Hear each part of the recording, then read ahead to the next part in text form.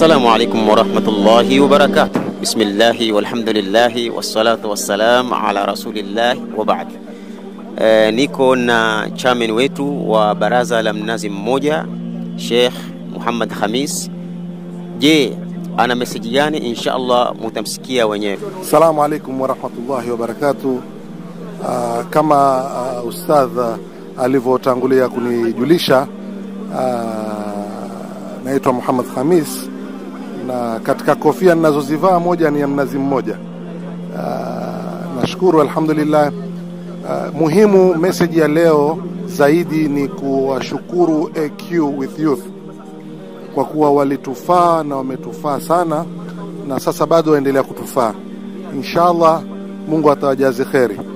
Uh, tumeweza kupokea uh, water dispensers uh, za baridi uh, tatu uh, ambazo mbili tumezipokea zitafanya kazi ambazo zitakuwa zi installed uh, Kibokoni mtaani wa mtaa wa Kibokoni na tutaziweka kwenye na connected directly na maji ya uh, tunaotengeza hivi uh, hivi sasa mtambo wa maji wa desalination utakuwa tayari by the end of this month.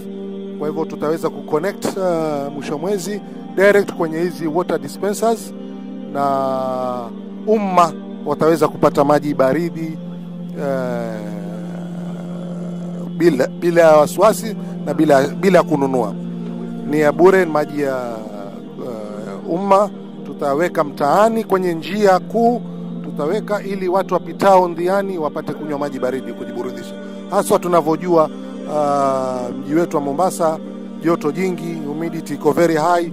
Kwa hivyo at least watapata kujiburudisha moyo wao, na namna watakavyojiburudisha basi uh, kheri na ta, thawabu zitakwenda kwa yule aliyojitolea kule uh, Oman, maana hizi mizigo inakuja kutoka Oman, watapata thawabu zao. AQ with Youth Mombasa watapata haki yao, na sisi tulioziweka pia na tutazimaintain inshallah, maana tumechukua majukumu ya kuweka na kumaintain na kuzilinda na kuhakikisha inapata maji safi ili watu wapate kunywa, na inshallah uh, water dispenser mbili tutaziweka hapo mtaani Kibokoni, na moja tumeipeleka kwenye msikiti wetu uh, kule Magongo Kisumu ndogo unaitwa Masjid Saada. Masjid Saada umeweza kupokea uh, water dispenser moja ambayo itakuwa connected na maji kule pia na itasaidia watu na itawekwa kwenye mlango so that hata wapita undia, kwa kuwa ule msikiti uko barabarani ndiani, hata apita ndiani pia atakunywa yale maji na ataburudika roho yake kwa, kwa joto la Mombasa inshallah. Na hizi zote ni kheri na khairati zilizotoka kwa AQ. Hatuna budi kuwashukuru sana uh, mabwana wa AQ walioko Mombasa uh, Sheikh Yusuf Abdi, Sheikh uh, Muhammad na wenzenu wote mulionao Abdul Qadir, Ibrahim, Abeid wote, inshallah Mungu awabarik, na wengine lo ambao sikuwataja, na hawa walioko huko Oman waliochangishana, walionunua, waliobeba, wakatia kwenye kontena, wakaleta, inshallah na nyinyi ujira wenu mtapata kwa Mwenyezi Mungu. Uh, inshallah, na Mungu atawazidishia na khairat mtapata inshallah. Na pia sisahau tuliweza kupata tende wakati wa Ramadhani kutoka huko huko Oman na zikasaidia. Tende kama hizi tulizipeleka msikitini direct Masjid Sada ambayo uko Magongo Kisumu ndogo.